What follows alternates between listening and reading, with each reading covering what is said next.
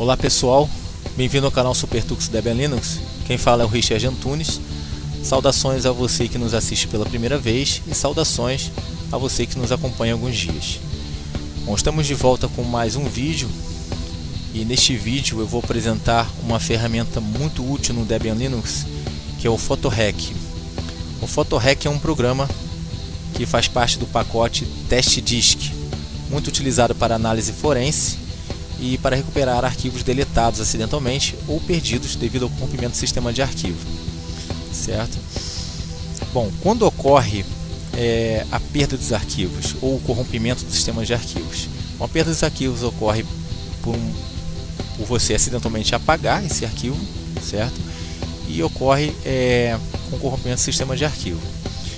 Como ocorre o corrompimento do sistema de arquivo? Geralmente a maioria dos casos ocorre quando você está copiando um arquivo do sistema para um pendrive ou cartão SD e vice-versa, e no momento em que está ocorrendo essa transferência ou cópia, você remove, esquece né, que está ocorrendo ali uma tarefa e você remove o dispositivo sem antes deixar terminar a tarefa e desmontar o dispositivo.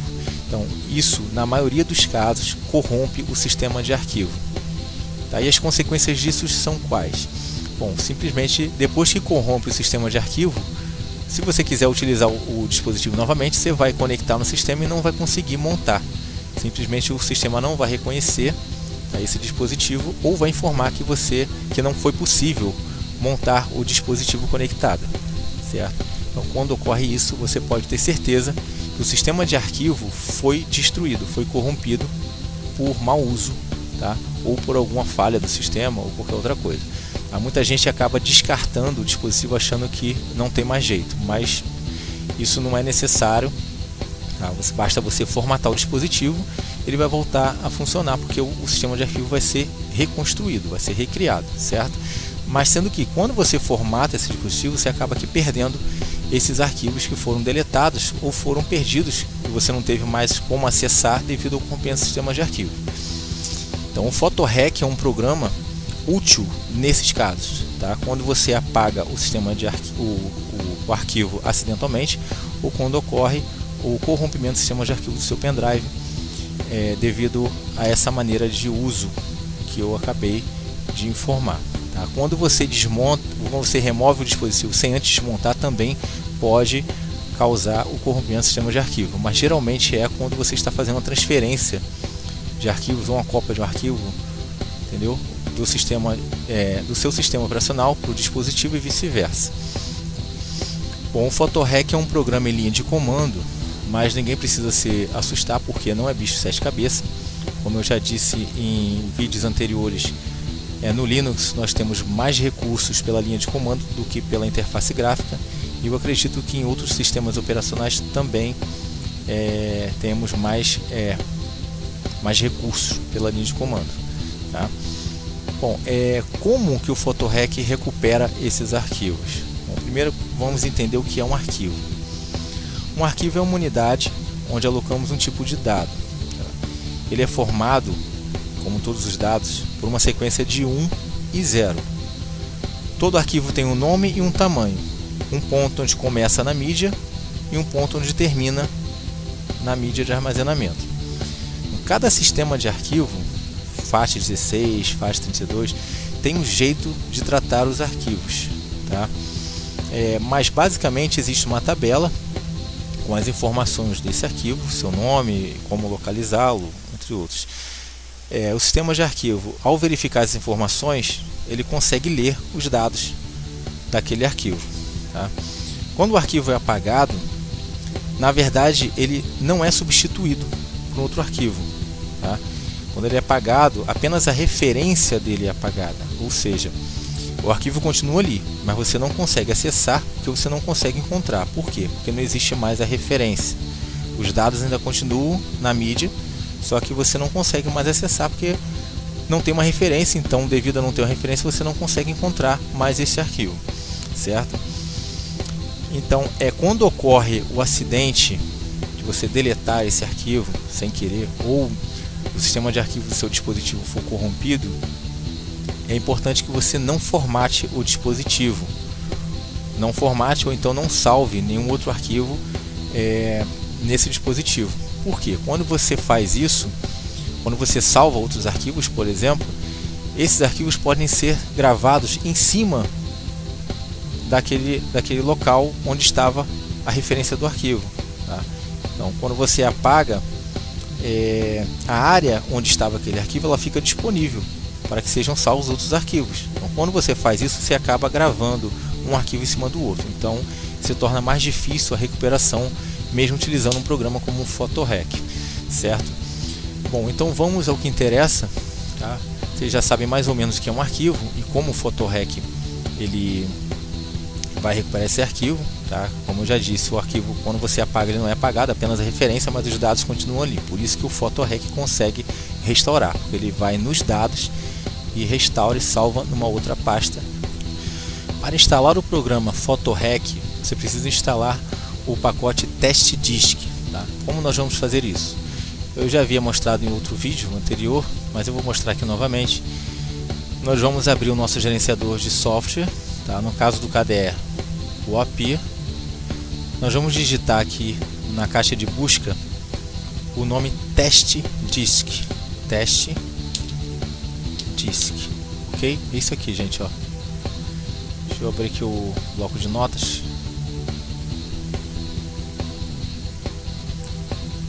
Esse comando aqui você vai digitar caso você não esteja enxergando aí vai digitar esse aqui ó. Test disk com K ok digitou isso aqui na busca, na caixinha de busca, dá Enter. O meu já está instalado, tá? Você vai instalar esse pacote aqui, ó, Test Disk. Você instalando esse pacote, automaticamente você instala o programa PhotoRec, porque o Test Disk ele utiliza o PhotoRec tá? para recuperação de arquivos. Você também pode utilizar o Test Disk da mesma forma que eu vou mostrar aqui para recuperar arquivos perdidos de dispositivos removíveis. ok? Então você instalou o programa, tá? e vamos a a utilização deste programa, ok? Tá? Então, para isso nós vamos criar uma pasta para salvar nosso arquivo. Tá? Eu criei aqui uma pasta eu vou apagar aqui e eu vou mostrar para vocês como criar uma pasta no Linux. Então, você vai na pasta onde você quer criar a sua subpasta, tá? Eu vou criar aqui na pasta pessoal, aparece logo de início duas maneiras nós podemos criar uma pasta uma, ou uma subpasta no Linux. Vá no seu gerenciador de arquivos, tá? aqui eu estou utilizando o Dolphin, que é da interface KDE. Clica botão direito dentro dessa pasta. Logo no início, ó, tem criar novo. Vai apontar aqui, ele vai abrir uma outra, um outro menu e você vai clicar em pasta. Vai aparecer aqui, você apaga, digita o nome da sua pasta. Para exemplo, eu vou criar a pasta chamada PhotoRec. Okay?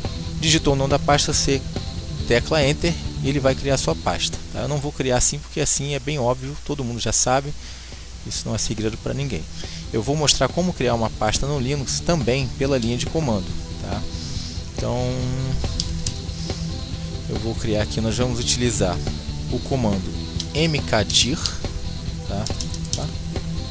Mkdir traço espaço, mkdir espaço traço p de pai, o caminho dessa onde você quer da pasta onde você vai criar sua subpasta. Então, para encontrar o caminho é muito simples.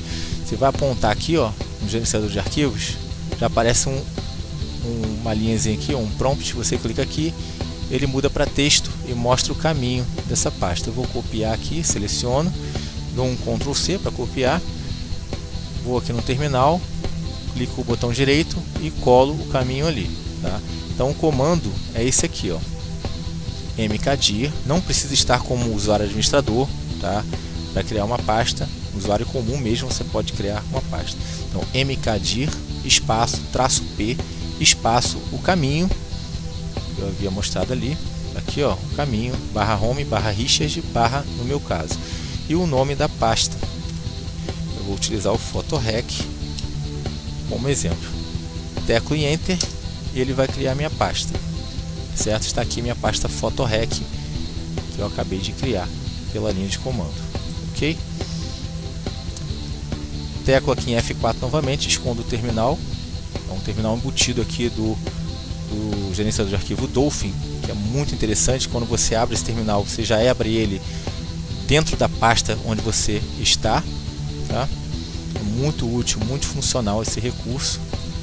Para quem não sabia, está sabendo agora. Okay? Então criamos nossa pasta PhotoRec e o próximo passo agora é listar as partições do meu sistema. Tá? Bom, para isso eu já espetei aqui o meu pendrive, já está montado. Okay? Eu já deletei os arquivos que tinham nele e eu fiz aqui um backup, claro. Já fiz o backup dos arquivos que estavam. Tá? Está vazio. Então, antes eu vou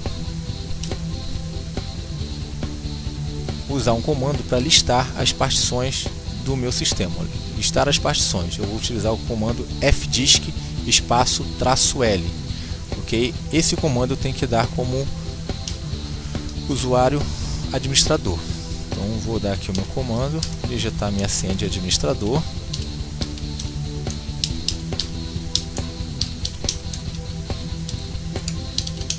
Não se assustem.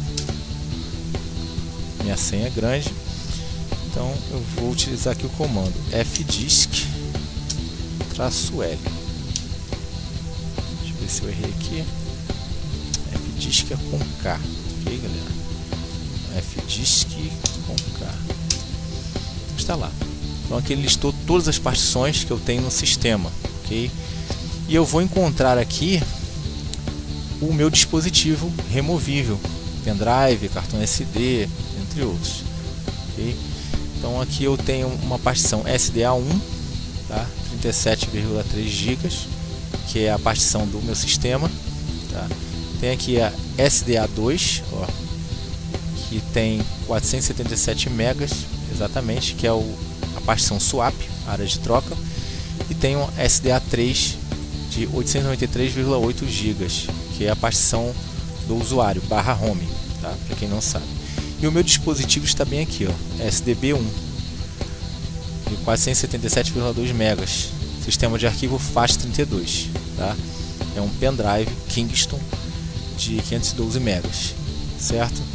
Então está aqui o, o endereço do meu dispositivo, ok? Então, depois de listar as minhas partições já encontrar o meu dispositivo, eu vou chamar o programa PhotoRec, tá? Para isso, eu simplesmente vou digitar PhotoRec. Ok? Está aqui. Certo? Então aqui ele mostrou o HD com três partições que eu já mostrei, tá? que já foram listados lá anteriormente. E tem o meu dispositivo removível que é um Kingston, um pendrive Kingston de 512 MB. Eu vou selecionar com as setas aqui, ó, para cima e para baixo eu posso mover ali então vou selecionar o meu dispositivo. Tá? Primeiramente, antes de selecionar e, e, e dar continuidade, eu vou desmontar o meu dispositivo. Bom, quando ocorre o corrompimento de sistemas de arquivo, você não consegue montar. Só que no meu caso não ocorreu. Estou fazendo só para exemplo pra, de como utilizar essa ferramenta PhotoRec é, disponível no Linux para todos nós. Okay? Então eu vou desmontar o meu dispositivo, mas caso você não esteja conseguindo é, encontrar ou montar seu dispositivo, não há necessidade de você desmontar, certo? Então está ali, eu vou clicar, vou selecionar ele, eu vou clicar aqui em Proceed. Já está selecionado, eu posso mover a seta para o lado, ó, Proceed, aqui ó, aqui embaixo. Eu vou clicar em Proceed para ele prosseguir. Então tem aqui, ó. Certo? Eu vou clicar, já está aqui, ó. Ele vai me dar duas opções. É, utilizar o PhotoRec numa partição numa área vazia ou na área do arquivo. Tá? Eu vou utilizar, é claro, se os arquivos sumiram, eu vou pedir para ele escanear a parte onde estavam salvos os arquivos. Tá? Então aqui ele pergunta qual sistema de arquivo eu vou utilizar.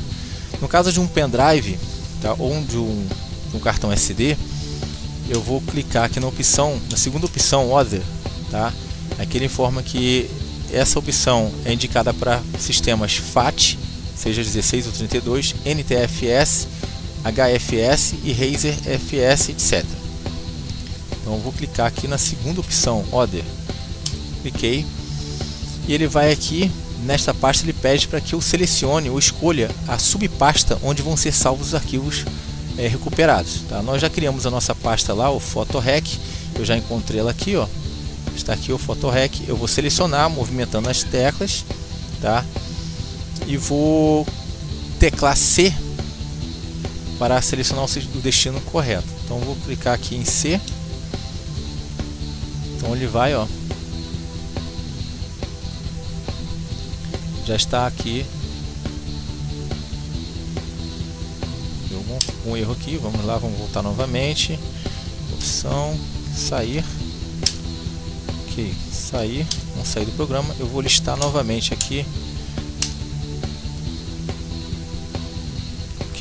vamos montar o dispositivo. Deixa eu desplugar. Montei. Montar. Aqui no meu caso aqui, o sistema de arquivo não está corrompido, entendeu? Então ocorre de ele não é, identificar porque foi desmontado, certo? Então ao invés de eu montar, eu já montei ele, então se eu der o fdisk-l, ele vai listar e vai identificar aqui, opa, um tilt aqui, vamos voltar para minha área de trabalho atual, que eu esbarrei aqui no na, na rodando aqui do, do mouse, então ele muda de área de trabalho, tá gente? Não tem nada, nenhum bug não. Então aqui está o meu dispositivo, tá? Eu cometi uma gafe aqui porque eu havia desmontado, então vou desmontar e vou conectar ele novamente, tá? Mas não vou montar, ok? conectei, ele vai reconhecer o dispositivo, tá? Mas não vou montar. Quando ocorre o corrompimento do sistema de arquivo, às vezes o sistema não reconhece ou então você não consegue montar. Mesmo que você clique aqui para montar, você não consegue montar o dispositivo. Então eu vou dar o Fdisk novamente. Então ele encontrou que o dispositivo só que não está montado. Ótimo. Dou um Ctrl L para limpar a tela. E vamos lá no nosso PhotoRec novamente os passos PhotoRec. Vou selecionar o dispositivo, aqui ele listou o HD o pendrive, 500 megas. Então vamos lá, pendrive, deixa aqui selecionado Proceed, teclo em Enter. Aqui ó, ele me dá duas opções: escanear uma, uma área livre, sem partição, e escanear uma partição onde estavam arquivos salvos. Tá?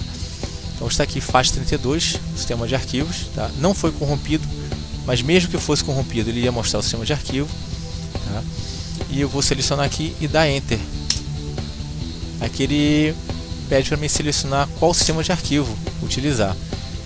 Como é um pendrive, eu vou utilizar a segunda opção, Other, que tem FAT 16 ou 32, NTFS HFS e Razer FS e etc. Então vou utilizar aqui a segunda opção, movimentando com as setas para cima para baixo. Eu seleciono a segunda opção, Order, teclo e Enter. Então aqui ele pergunta se eu quero escanear a área, área livre tá? ou uma área com arquivos, uma área com partição. Eu vou, vou escolher aqui a segunda opção, Role. Tá? Teclo e Enter Aqui ele pede para selecionar a pasta na qual serão salvos os arquivos recuperados. Nós já criamos a nossa subpasta PhotoRec, já encontrei ela aqui, ó. Do Enter, ele pede para me confirmar se é exatamente essa pasta que eu desejo é, utilizar. Então aqui ele me dá a opção C, se a pasta estiver correta, e Q, se eu quiser sair. Tá? Então vou clicar em C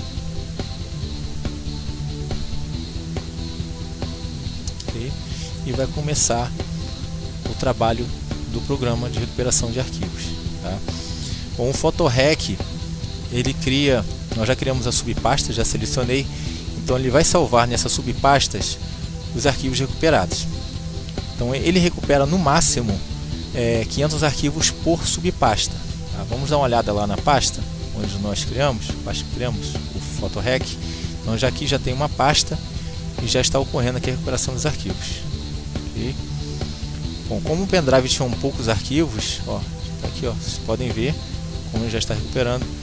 Não leva muito tempo. Aliás, o tempo vai depender do tamanho do dispositivo, da mídia, tá? e também, é claro, do seu hardware. Tá? Então ele salva no máximo 500 arquivos por subpasta. No caso que ele criou uma subpasta de recuperação, diretório 1. Tá? Então ele vai salvar até 500 arquivos nessa pasta. Caso a, é, é, ele encontre mais de 500 arquivos, ele vai criar uma outra pasta dessa e vai salvar outros arquivos. Tá? Então está aqui, vamos ver como é está. Diretório. Tá. Vamos dar uma olhada lá no programa. Aqui ele informa que a recuperação foi completa. Tá? E eu acho que é só isso mesmo. Haviam poucos arquivos no pendrive. Talvez agora hajam mais arquivos, tá? É como eu falei para vocês. Se não salvar nenhum outro arquivo em cima dos dados dos arquivos anteriores, ele salva. Porque na minha, no meu, nos meus arquivos anteriores, no pendrive, o que tinham, o backup, ó, tá vendo? Eram menos arquivos. Esse aqui é os arquivos que eu tinha no pendrive antes de começar a recuperação. Então nós podemos ver aqui que tem mais arquivos. Por quê?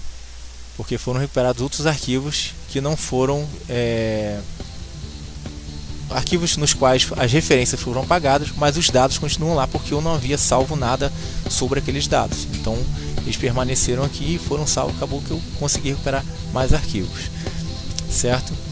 Bom, está aí. Mostrei para vocês como utilizar o PhotoRec, uma ferramenta muito útil. Espero ter ajudado com essa dica. Tá? Eu tenho certeza que vai ser útil para alguém.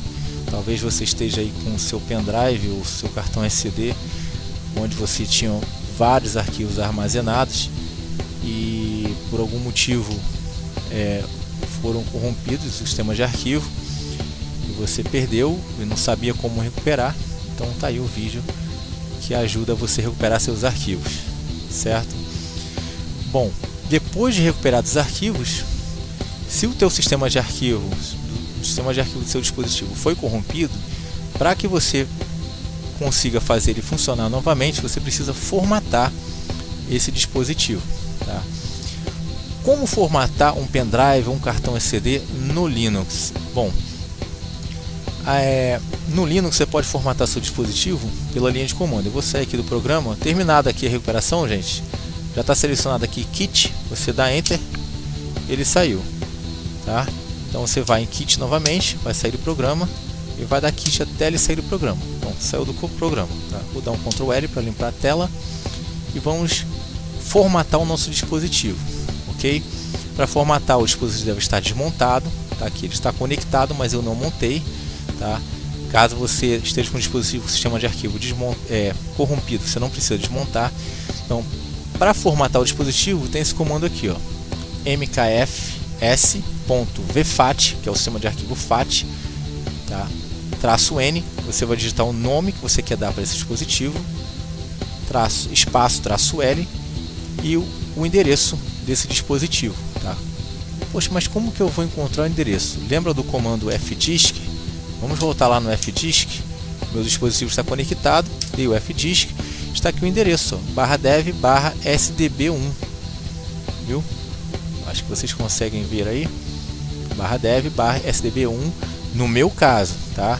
No seu sistema pode ser um endereço diferente, tá? mesmo que seja o mesmo sistema Debian 8 ou 9, pode ocorrer de estar diferente, tá? Isso vai muito também de cada computador. Então, no meu caso está barra dev barra sdb1. Esse é o caminho e o nome que o sistema dá para o meu dispositivo, certo? Então eu vou formatar esse dispositivo vou dar um nome a ele entre aspas duplas, tá? Você vai digitar um nome que você deseja dar. Então vou usar esse comando aqui, mkfs.vfat espaço traço n aspas duplas, nome, fecha aspas duplas, espaço traço l espaço barra dev barra sdb1 no meu caso, ok? Então vamos lá, vamos digitar o comando.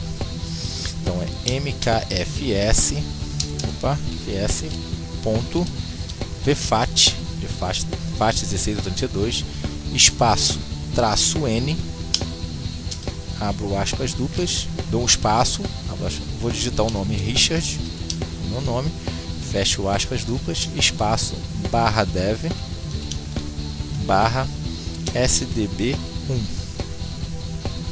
É o caminho, o nome do meu dispositivo que o sistema deu. Tá? Vamos lá conferir. Tá aqui, ó. Viu? mkfs.vfat n, traço n e lá.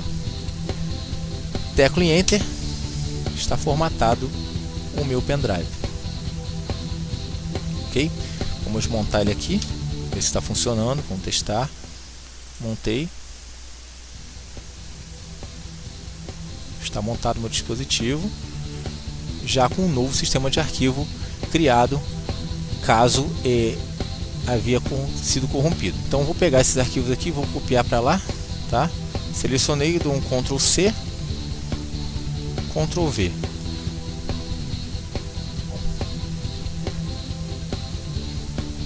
Tarefa copiando concluído. Está aí. Está ou não está funcionando? Ok? Então está aí a dica do PhotoHack e mais uma dica extra de como formatar seu dispositivo no Linux, tá? Bom, eu espero ter ajudado vocês com essa dica. E se você gostou do vídeo, dá o seu like. Se for foi útil para você, dê o seu like, deixe um comentário. Caso você tenha alguma dúvida, por favor, coloque seu comentário aí, tá? Se você não é inscrito no canal e acha que esse canal vai te ajudar em alguma coisa, você que é iniciante no Linux, mais especificamente no Debian, esse canal foi criado para dicas do Debian, tá? É, se inscreva no canal, seja bem-vindo. Para receber, as, para receber notificações de novas publicações, é, clica lá no sino, tá? para que você receba as notificações. E vou ficando por aqui com este vídeo. Agradeço a todos por assistir. Tá? E até a próxima publicação. Um forte abraço a todos e até mais.